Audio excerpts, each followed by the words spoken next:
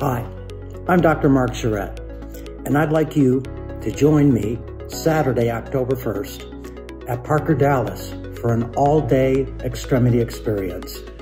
I'm going to be talking about the neurology of extremity adjusting along with a workshop where you can learn how to adjust easily the feet, knees, and hips. Whether this is your first time or a brush up, come and join me. It's going to be great.